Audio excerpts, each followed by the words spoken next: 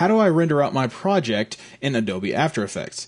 So let's say you're done with your scene, like I am here. I have a nice cool little lightning bolt shooting out of my antenna array, and I want to render this out to my AVI or JPEGs or whatever. I want my final result done and out so I can show it off to people. Well, the typical, the very first thought you would have was be simply select your objects, go up to File, and go down here to Export, and you have all these great options. Let's say I want to go to AVI. Well, the problem is you select AVI, you only get a few settings. You have video and sound settings, and you can simply click on them and you get other options.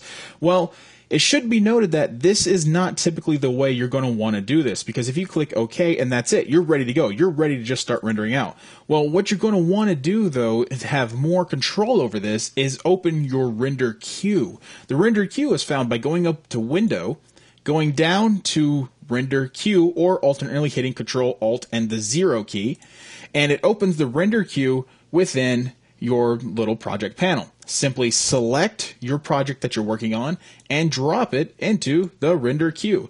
So now, if I drag the window upwards, you can see that my project indeed got dropped within the render queue.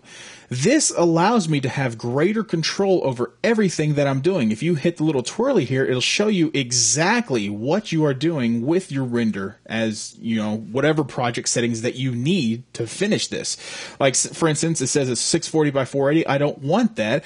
I want to say it's 320 by 240 for some reason. So I'll simply click best settings. This will open up more settings that I can adjust. And it's not just for, uh, just for the best settings for the render. You can go down to the output module modules that open up. And you could go over here to the output 2. How do you want it? Do you want it in JPEGs? Do you want AVI? I mean, you could simply set it up to whatever you want, you know, you you desire the end result is. So after all that said and done, all you have to do is simply click the giant render button that's at the top of the render queue. And once it gets done, you'll have a progress bar that'll go across the screen and tell you that it's good to go. And you'll have a nice little signal at the end telling you it's done. So uh, with that, that's pretty much going to wrap up this video.